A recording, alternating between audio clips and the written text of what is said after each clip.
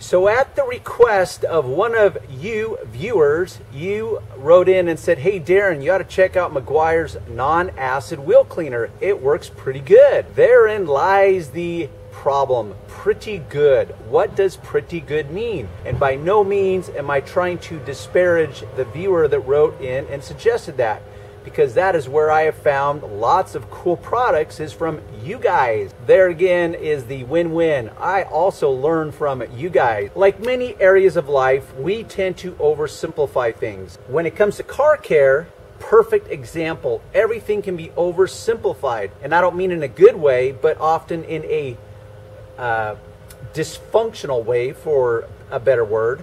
And what I mean by this is I have tested the non acid Meguiar's. I just got some a couple days ago, and I've been testing it out in the field on my own cars, on other cars. So let me break it down for you. When something is brand new, or when you keep up on something from day one, guess what? You don't have to overthink it. It can be oversimplified or just simplified, meaning if it's not dirty or you never allow it to really get dirty, virtually anything will work, as in a proper cleaner for that task that you're trying to do. In this case, a wheel cleaner. But this is suddenly where it becomes more complex because, for example, wheels are going to be coated and get dirty with what's called brake dust. Brake dust does not clean away easily with just traditional cleaners. Can it be done? Absolutely. So if you were to keep up on your wheels every week, it's a non-issue. You could you could pick virtually any wheel cleaner and use a scrub brush like the one that I use and it's an it's a non-issue. It's a no-brainer because you're not allowing the brake dust to accumulate. There's not excessive levels of brake dust, so it just becomes a non-issue. But that's only one variable of a more complex uh, subject. Often on wheels, you will get water spots. It could be water spots from driving through uh, gutters that have water in them. It could be from sprinklers, and that's another area that gets oversimplified to a fault, and that's water spots. They are not all created equal. Why is that? Because not all water is created equal. How they dry is not all created equal, and the surface in which they dry on is not all created equal. So there's many variables to take into consideration. The simple answer between the two, I have my wheel brightener here, which is considered an acid-based wheel cleaner, and I have my non-acid Meguiar's wheel cleaner, and it's actually labeled to be a wheel and tire cleaner. I have it here. So the simple answer is, which does Darren prefer? Well, for me, it, I'm going to stick with the acid base. Once again, why? Because it chemically reacts to the brake dust. It will break it down quicker and more easily. Also, water spots. That is a big issue on cars. And I don't care if, it, if the car is kept in a garage or not. You can get water spots anywhere. I have pulled up to restaurants and stupid me, I forget, never park next to a planter.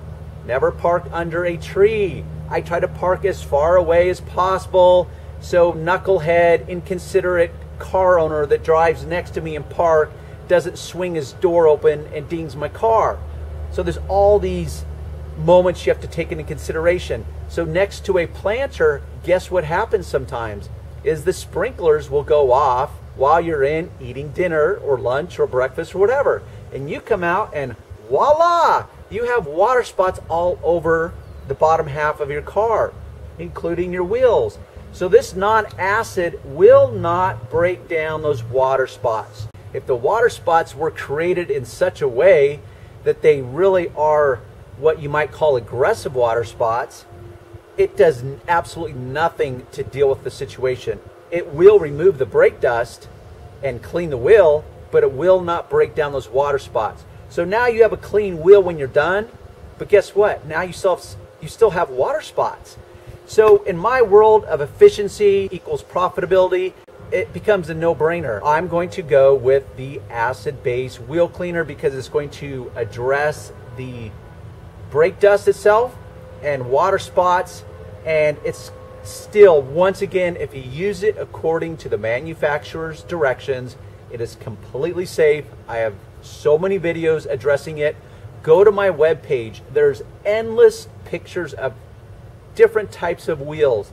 Like this one that is both painted silver with a polished area, but it's clear coated. It's a factory OE, which stands for original equipment. It's a clear coated wheel.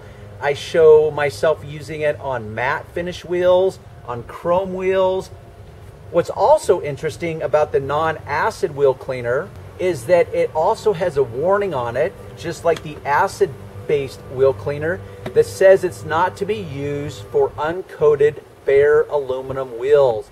So that tells me that there's some kind of chemical in the non-acid that's still going to chemically react to the bare metal. So you do not use it on bare aluminum unless you know you're going to polish afterwards. So right there is, I mean, that's one of the big uh, drawbacks to the acid-based cleaner in many guys' worlds. But honestly, I have come across a bare-coated cast aluminum or billet aluminum wheel, probably two of them in the past five years. With cars today, it really is a non-issue whether it's aftermarket wheels, original equipment wheels, it's just such a non-issue. So I'm gonna clean this wheel and I'm gonna show you, I've got my non-acid base. I spray it just like I would normally. And as a rule, you don't want the product to dry on the wheel. You don't want the wheel to be excessively hot. Now it says to use on cool wheels, and that's just a general statement.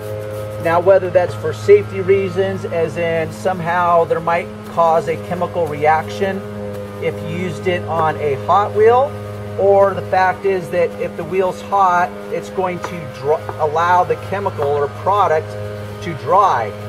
And once it dries, you have to reactivate it by shooting more chemical or product back on it. The same rules apply for the non-acid as the acid-based wheel cleaner. This is my own customized tool that I have configured for tighter wheel areas. Yes, my Speedmaster wheel brush would fit in here and do a fine job. But I also know because these spokes are closer together, I'm gonna get, as I pull this out, I'm gonna get a lot more sling back onto me. I don't want that. I like to stay clean. Or I could wear a cover up but it's kind of hot today. It's very humid. You guys back on the East Coast, I swear I do not know how you do it. I empathize with you because this morning, um, in fact, this whole month, we've been going through a kind of an uncommon spell of overcast skies, high humidity, but it warms up really hot during the day. Like yesterday was 95 degrees, and the humidity was probably 47%. Now I know on the East Coast you say, well, that's a cakewalk. You should see my world where it's like 90% humidity. Now I just reach behind each spoke with my fingers very quickly because brake dust will get behind there and I want these wheels truly clean and detailed. And just so you know, if you get on a customer's driveway, if you get some sling of the brake black messy mess, it comes off really easily.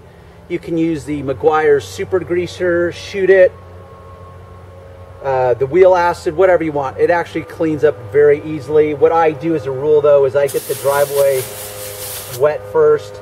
It reduces the ability of that slop to stick to the cement. So I'm going to go ahead and finish cleaning this wheel. I've got my Meguiar Super Degreaser, which I have now recently just per started purchasing in a five gallon drum because I go through so much of it. For most of you guys, you probably will not be going through that much. But I find endless uses for it, and I go through so much of it, it made sense in my world. Now I'm to blow this off with the leaf blower and I'll be good to go. But because it had water spots on it, I know that when I dry it, those water spots are still going to be there because I did not use the acid-based wheel cleaner. And uh, let me show you that. Here we have the back wheel of this Maserati, which I'm working on. Now, this is going to seem trivial to most of you, but right here, there's some water spots. You will see some additional water spots. Now, if you have a single water spot, it's like, woo, Darren, big deal, you know? But why do I have to go back over it and get it to rub off when I can use the acid-based wheel cleaner and it will correct all those problems for me? So that's just Darren's professional opinion because when you're operating a business, it really is all about efficiency because that will equal profitability. And yes, that is why you're in business. Yes, it's nice to do something that you enjoy doing, but we all want to remain profitable, don't we? There's my two and a half cents on the difference between the between the wheel brightener acid based wheel cleaner and the non-acid, which I've lab self-labeled myself just because I had a feeling that I was not going to embrace it. But once again, like so many areas of the car, you don't have to overthink it. If A, it's brand new, you keep it clean, whether it's upholstery cleaning, leather cleaning, carpeting, if you never let it get dirty and out of hand, it's so simple. And that's the good news is that there's so many quality products out there and because you're not dealing with heavy layers of dirt, you don't have to overthink it. It really can be one of those moments that you can keep it simple. I've now blown this wheel off. It is completely done. I will have to just verify and double check it before I turn it into my customer. But to recap, there's a couple points I want to mention. One of which I've already addressed at a level, and that is that not all water spots are created equal. So if you decide that you just can't get past the thought of having acid in your wheel cleaner, which is then going to be shot onto your wheel, if you if that just makes your butt pucker that much, then go with the non-acid wheel cleaner. Still will work. You may have some water spots left over, but just because you have water spots to begin with does not mean it's not going to clean them but it means that it's going to be a case by case because I said at the beginning, not all water is created equal. Thus, not all water spots are created equal. So it will take care of some water spotting, just not all of them. The wheel brightener, the acid the acid-based wheel brightener by Meguiar's is more economical because I can buy a gallon of this and I can buy a gallon of this. Essentially, they cost within a dollar of each other the same. I think I pay about $22 to $24 a gallon. This can be diluted down four parts to one, which means if I have a gallon of concentrate, that will equal five total gallons of my chemical. This says it can be diluted down two to one, which means I'm going to get two gallons out of the one gallon. So this is far more economical. So there's another winning factor, which is why Darren, as a professional, also chooses the acid base wheel cleaner. That's my little additional added notes that you need to be aware of. So with that said, is if you like the videos, give it a thumbs up, make a comment. I wish I had more time to uh, correspond and address and reply to every comment, but I literally do this as a living. Plus, I got to maintain my websites, do the YouTube channel, edit the videos, shoot the videos. It takes a huge amount of time.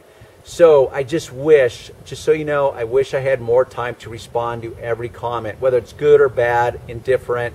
I don't really care. I would like to respond to all of them. But make a comment. Ask me a question. This is where I get my ideas for to shoot videos. Of course, I can't make them all quick enough and fast enough. But this is where I get ideas, and that's you kind of helping me out. So if you like it, give it a thumbs up. Make a comment.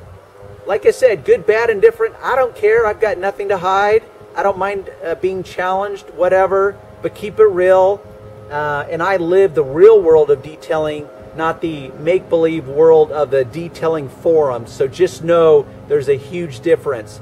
and I speak from experience of the real world, not the fantasy world of the detailing forums. So, yes, I'm making a gross generalization. The forums aren't all bad. It's just they are an animal or a beast that most beginners do not understand.